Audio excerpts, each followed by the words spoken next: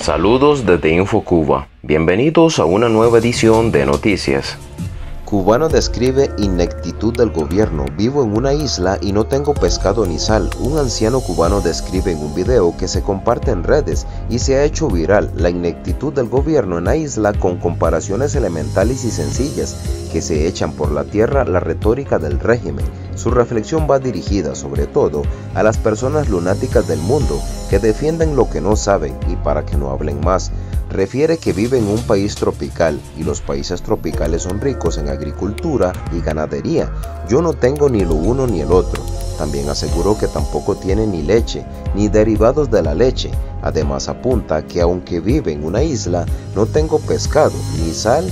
Mira qué contradicción.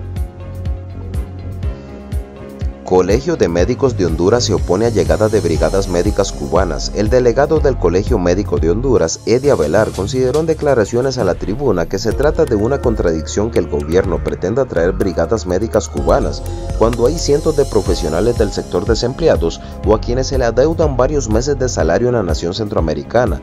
La contratación de los médicos cubanos tiene un costo de más de 2 mil dólares que se le tienen que pagar al gobierno cubano por cada uno mientras que en Honduras hay 10.000 galenos desempleados a quienes se le deben meses de salario. Asimismo refirió que vive en una zona tabacalera y el cigarro vale más de 200 pesos. La gente da lástima. Esto es cafetalero y no hay café. Es un país azucarero y no hay azúcar. Tienen que estar trayéndolo el azúcar de afuera.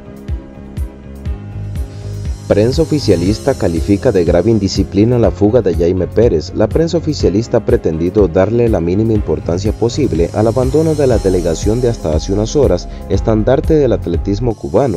La discobola Jaime Pérez al referirse al tema de una breve nota del sitio JIT, dedicados al recibimiento de los últimos grupos de atletismo procedentes de Estados Unidos. En el cuarto párrafo del texto se lee que el abandono de la comitiva por parte de la rusa constituye una grave indisciplina, calificativo que atribuyó igualmente a la fuga de la jabalinista Gisela Bayar y el fisioterapeuta Carlos González Morales. Emigrados cubanos crean bandera del 11 de julio. El emigrado cubano Paulo Arturo Hernández, residente en Deltona, Florida, diseñó la bandera del 11 de julio como tributo a la protesta popular, que catalogó de gran victoria, y su vecina puertorriqueña María Isabel Román Díaz la confeccionó siguiendo sus indicaciones.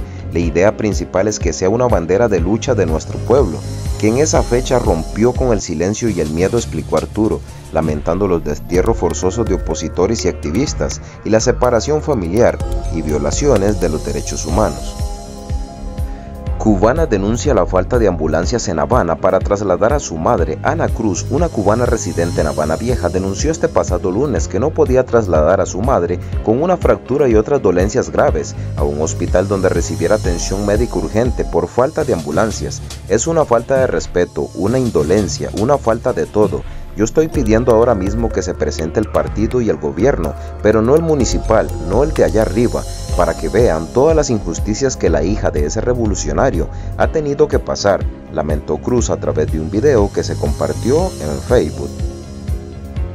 Cubana denuncia muerte de su esposo por negligencia médica en Granman. El cubano Gualberto Risco León de 29 años falleció este pasado lunes en Bayamo Granman a causa de un dengue que no se diagnosticó a tiempo y por falta de atención médica adecuada, denunció su esposa Kirena Gómez.